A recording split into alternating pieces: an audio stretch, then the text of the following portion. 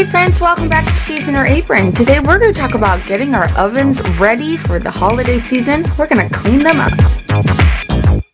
So with cleaning the oven for Thanksgiving, needs it, Derek unscrewed the oven here so we can get in between the glass because that got all nasty. And look, it, it collects dust and drippings from the stove down in here. So Derek was awesome. He's holding the glass so it doesn't break.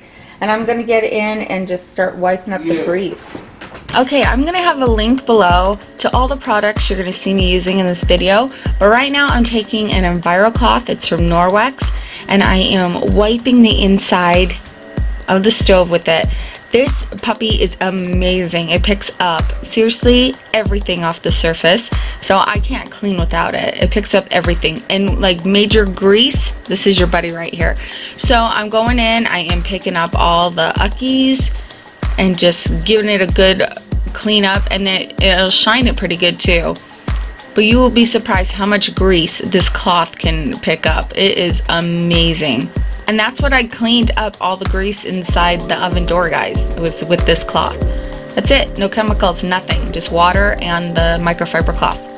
It's definitely a two-person job. Derek was such a help unscrewing the oven and holding the door and oh it felt so good to finally get in between the glass and just clean then I got where the handle was because you have to take off the handle to the oven so I was able to get in there and get all the uckies that got in the handle Oh, felt so good. I'm also going to put a link to this video. As you can see, it's an old video. It's my old kitchen. But I'm just showing you how I clean the inside of my oven. I use this Norwex oven and grill cleaner. If you'd like to see where I'm talking about this in full detail, click on this video down below or the iCard above and you can see it. But I can't imagine cleaning my oven without anything other than this product. It cleans it so fast. Then I go in with the scrubby and I start pulling up all the gunk. It's nice because you don't want to turn on your self-cleaning oven like that button.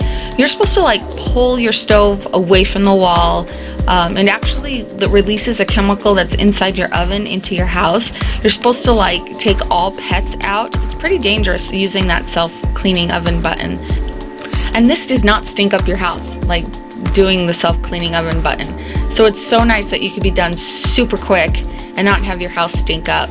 Well guys, clean your ovens before the big holiday baking. It just makes it feel so good. I hope this was motivating. Um, if you have time before the holidays to get your oven clean, I promise you won't regret it. And uh, yeah, tell me what you do to clean your oven. Tell me what some of your favorite products are. And if you'd like to learn more about how I cleaned my oven thoroughly, go check out that video. But thanks for joining me today, you guys. I hope you're all well, and we will see you soon. Bye.